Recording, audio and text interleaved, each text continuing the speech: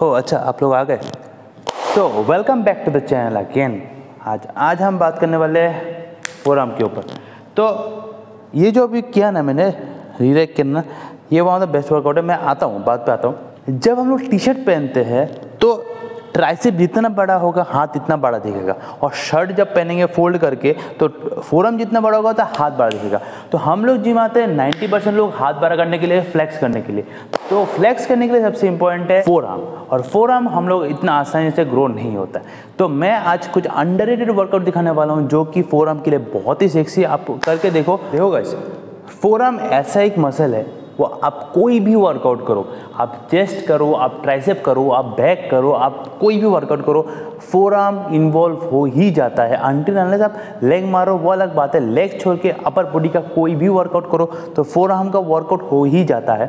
फिर भी four arm का अलग से कुछ वर्कआउट्स है, जिससे कि अभी मैं दिखाने वाला हूँ, दो कुछ वर्कआउट्स वो बहुत अंडर है। तो ये वर्कआउट आप कर सकते हो। अब अगर करोगे तो आपका बॉडी में बहुत सेक्सी फोर हमें पंप आएगा। तो चलो शुरू करते हैं फ़र्स्ट वर्कआउट के साथ। तो फ़र्स्ट वर्कआउट जो है फोर के लिए वो है मेरे तरफ़ से मोस्ट बेस्ट वर्कआउट और मोस्ट अंडर वर्कआउट वो है फार्मर वर्क तो क्या करना है उसमें लिए? नाम ही है फार्मर वर्क तो दो वेट ले लो, अपने हिसाब से वेट लेना।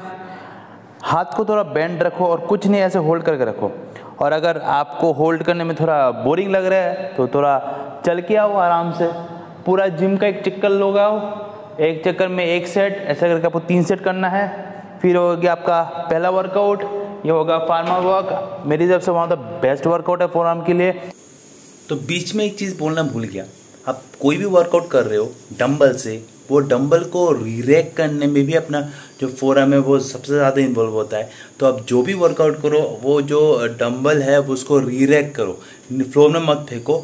तब जाके आपका जो फोरम है, वो सबसे बेस्ट इन्वॉल्व होता है और वहाँ पे सबसे ज़्यादा फोरम का वर्कआउट होता है। ये वाला वर्कआउट आपको सुपर सेट मारना है। तो क्या करना है? हाथ को सामने लेके आओ। One two three four five six, seven, eight, nine, ten. बिना रोके हाथ को मोड़ो और फिर वन। ये पार्ट का वर्कआउट कोई नहीं करता, ठीक है? ये जब करोगे ना, आप करके देखो, फिर बताना मेरे को। ये दस दस का एक सेट होगा मतलब दस ऐसे दस ऐसे, एक सेट, वापस से दस ऐसे दस ऐसे, दो सेट। फिर वापस ऐसे, फिर ऐसे, तीन सेट। ऐसे करके वो तीन सेट मारना है। तो फोरम बहुत छोटा मसल है। हम लोगों को चार वर्कआउट भाई ज़रूरत नहीं है। फिर मैं मैं दिखाता हूँ, मेरे हिसाब से वो चुम्मा वाला वर्कआउट, ये दोनों एक ही वर्कआउट है। तो उसके बाद आता है नेक्स्ट वर्कआउट पे लेट्स गो वो करें। इसको थोड़ा नीचे लगाओ मतलब तीन या चार नंबर पे, ठीक है? ये वाला रॉड होगा आपके पास, जो ऐसा घूमता हो, जिस पर आप ट्राइसेप मारते हो, वही वाला रॉड लगाना है। थोड़ा सामने आना है, हाथ को ऊपर लेके जाना है, और फिर वन पूरा घुमाना है ऐसे। ये बेटर होगा अगर आप कोई रोप लगा के रोप में कर सकते हो, लेकिन मेरे जिम पे वो वाला सीन नहीं है, क्योंकि वैसे ना वैसा रॉड है, ना ऐसा रोप है। तो इसलिए मैं ये वाला जुगाड़ करता हूँ। उठाता हूँ, बस। बात एक ही है, वो थोड़ा टफ है, ये थोड़ा इजी है, लेकिन आप इसमें भी कर सकते हो। इसमें थर्टी सेकेंड का एक सेट होगा। अगर थर्टी सेकेंड बहुत ज़्यादा है भाई, अगर थर्टी सेकेंड नहीं होता है पंद्रह सेकंड कर लो, फिफ्टी सेकंड का एक सेट फिर फिफ्टीन सेकंड के एक सेट फिर फिफ्टीन सेकंड के एक सेट ये होगा आपका तीसरा वर्कआउट एक फनी चीज़ बताऊँ, आपके जिम में ऐसे इक्विपमेंट्स है जो आपको पता ही नहीं है, उससे दूसरा कुछ भी हो सकता है। अब ये आप बोलोगे क्या क्या बात कर रहा हूँ, कि ऐसे इक्विपमेंट्स है जिससे वर्कआउट हम लोग दूसरा वर्कआउट भी कर सकते हैं। आपके जिम में ये क्लिप्स तो होंगे, जो आप वर्कआउट के टाइम पे लगाते हो अपने जिम में लगाते हो, जब क्लिप लगाना हो।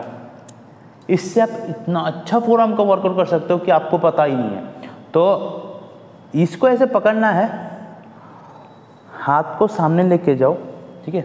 और वन आप करके देखो मेरा बात मत सुनो, आप करके देखो, ठीक है?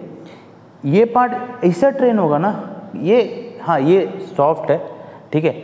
आपको अगर हार्ड करना है तो आप खरीद भी सकते हो।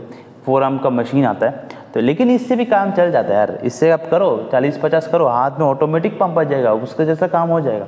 आप ऐसा करते रहो। ये तीन चार वर्कआउट आप अगर रेगुलर करते हो ना, तीन हफ़्ते बाद मेरे को बताना कि भाई फोराम में अच्छा पंप आया, मेरा साइज़ इंक्रीज हुआ है, और क्या है, नहीं है। देखो, सच बात यह है ना, मेरा फोराम में मैं ज़्यादा एफर्ट नहीं डाला, क्योंकि मेरा जेनेटिक्स अच्छा था, और मैं फोराम का कभी वर्कआउट किया ही नहीं। तो इसलिए मेरा फोराम जैसा है, वैसा ही था। तो लेकिन आपको मैं बोलूँगा, अगर आपका जेनेटिक्स नहीं भी है ना, या फोरम का जेनेटिक्स सबका नहीं होता, अगर आपका नहीं भी है, आप उसको बीट कर सकते हो हार्ड वर्क के साथ। तो अब ये चार जो वर्कआउट दिखाया, वो आप कर सकते हो। तीन हफ़्ते बाद मेरे को बताना कि क्या सीन क्या नहीं। तो चलो, आज के वीडियो के लिए इतना ही था। फोरम का इतने वर्कआउट है छोटा सा मसल है। और मिलता हूँ नेक्स्ट वीडियो में। हंड्रेड मस्त खाओ फिट रहो, मिलता हूँ नेक्स्ट वीडियो में। Bye boom